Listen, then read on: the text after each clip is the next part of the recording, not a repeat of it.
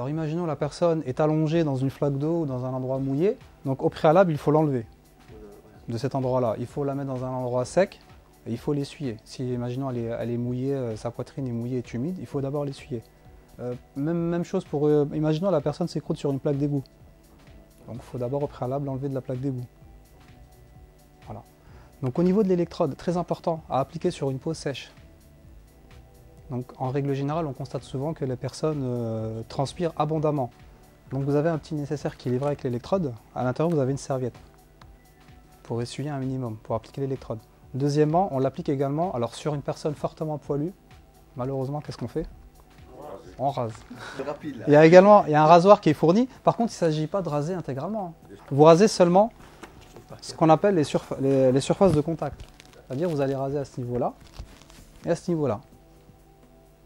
Alors en règle générale, les électrodes que vous avez l'habitude de voir, ce sont des électrodes comme ça. Ce sont des électrodes standards que vous allez retrouver chez tous, les, chez tous nos concurrents. Donc sur ce type d'électrode-là, c'est des électrodes qui sont indépendantes. Vous avez une polarité à respecter, un plus, un moins. Moi le premier, si vous me donnez ça, je vais déjà me poser la question de comment que ça se place. Je vais regarder, alors ça, ça va là, ça, ça va là. On perd du temps. Donc c'est pour ça que Zoll a déposé un brevet sur cette électrode-là, qui est une électrode dite monobloc, qui facilite le positionnement en fait. Alors le pacemaker, en fait, comment on s'en rend compte Comme l'a dit monsieur, vous allez vous en rendre compte parce que c'est une cicatrice qui est vraiment voyante. Et en plus de ça, ça ressort. Une personne qui a un pacemaker, ça ressort. Ouais, ça ressort vraiment. Donc vous, en fait, tout ce que vous avez à faire, cette partie-là, il faut la placer en dessous de la cicatrice.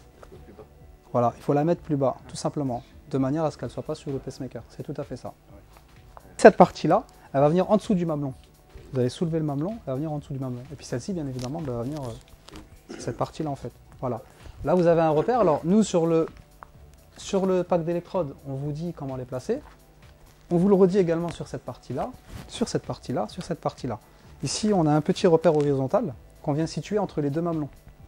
Donc, les deux mamelons, hop, je place et je fais ici. Vous allez me poser la question, on n'a pas tous la même corpulence, il y a des personnes qui sont beaucoup plus fortes que d'autres. Donc, j'ai possibilité de déchirer et j'ai une petite rallonge. Et donc, je peux coller beaucoup plus loin. Et deuxième gros avantage, vous avez remarqué ici, on a un petit sensor. C'est ce qu'on appelle un sensor de compression. Donc en fait, ça, ça, nous- ça nous sert à quoi? L'appareil va faire l'analyse. Il va vous dire de choquer ou de ne pas choquer. Mais à partir de là, ça ne s'arrête pas là. Le plus important reste à venir, je dirais. Puisque vous allez apprendre en formation, pour ceux qui sont formés, on fait ce qu'on appelle le massage cardiaque. Donc le massage cardiaque, euh, au jour d'aujourd'hui, c'est 30 compressions, 2 insufflations. Donc le petit capteur là, on va venir positionner les mains, comme on l'apprend en formation, et on va faire les compressions dessus. Et à l'intérieur, en fait, on a une petite technologie, on a un petit capteur qui est intégré, qui va venir mesurer l'amplitude de compression. Parce qu'en formation, l'amplitude de compression qui est conseillée, c'est 5 cm. Et grâce à ça, l'appareil va vous envoyer des messages du type bonne compression ou appuyez plus fort. On a ce qu'on appelle une véritable aide à la réanimation cardio-pulmonaire. Vous avez remarqué déjà, on avait un petit capot de protection. Donc, lorsqu'on ouvre l'appareil, on a ce petit capot de protection, qui en plus de ça, c'est un accessoire qui va nous être très très utile. Il va nous servir à mettre la tête en arrière. Il va nous servir à mettre la tête en arrière pour favoriser l'ouverture des voies respiratoires. Donc en fait, comment ça se met? Ça se met comme ça, entre les deux omoplates. Vous voyez? Je bascule la tête en arrière et j'ouvre les voies respiratoires. Voilà, je vous remontre pour vous de l'autre côté. Voilà. On a notre électrode qui est toujours euh, connectée à l'appareil. Et ensuite, sur la façade avant de l'appareil, qu'est-ce qu'on découvre? On découvre toute une série de petits pictogrammes. Pour des personnes, encore une fois, moi le premier, des personnes non formées, on vient nous, on vient nous, nous, euh, nous rappeler les étapes très importantes à respecter. On a également une diode lumineuse qui va s'allumer à chaque étape. Ça va également s'écrire, donc on va l'avoir en écriture, et on va avoir également l'indication en vocal, c'est-à-dire que l'appareil parle. Il va vous le dire. L'appareil fait l'analyse. Et à part, c'est lui qui fait l'analyse. Et c'est lui qui décide si, euh, si vous choquez ou pas. À savoir, on va rentrer un peu dans, la technique. Vous avez trois types de rythme cardiaque. Et sur ces trois types de rythme cardiaque, l'appareil, il ne choquera que dans un seul cas. Alors, vous avez ce qu'on appelle le- la fibrillation ventriculaire. En fait, c'est lorsque le cœur part un peu dans tous les sens. Vous avez un tracé en fait qui fait comme ça, qui part dans tous les sens. Donc l'appareil choquera dans ce cas-là et seulement dans ce cas-là. Si vous avez un rythme sinusal normal, le cœur bat normalement, l'appareil va vous dire de ne pas choquer. Et si vous avez un tracé plat, l'appareil va vous dire de ne pas choquer. Sur un tracé plat, il va vous dire attaquer directement la réanimation. Voilà. Et ça, par contre, vous n'avez absolument pas à vous en soucier. Vous n'êtes pas médecin, vous n'êtes pas docteur. C'est l'appareil qui fait l'analyse.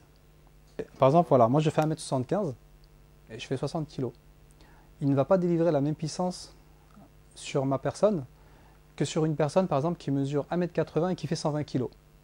Donc en fait, c'est ce qu'on appelle l'impédance. L'appareil s'adapte à l'impédance de la personne et il délivrera le choc en conséquence. Donc, comme je vous l'ai expliqué tout à l'heure, l'allumage se fait là. Donc je vais l'allumer. Donc à l'allumage, l'appareil effectue un autotest.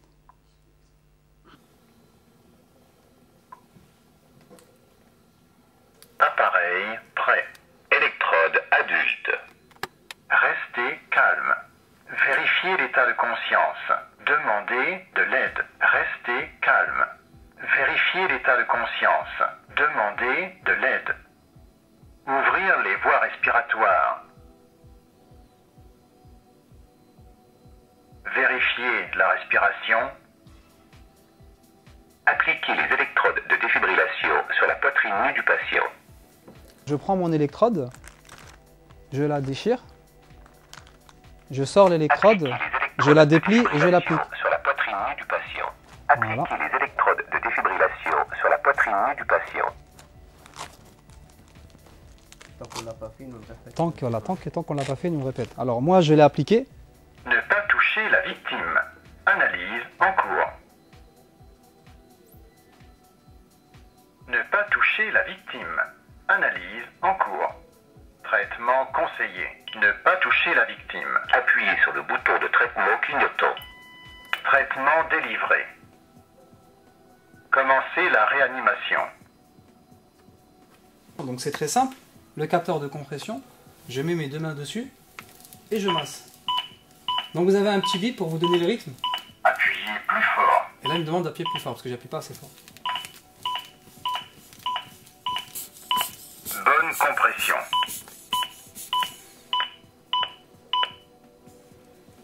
Donc c'est 30 compressions, 2 Appuyez insufflations. Donc c'est à moi de compter par contre, ce n'est pas l'appareil qui compte. Donc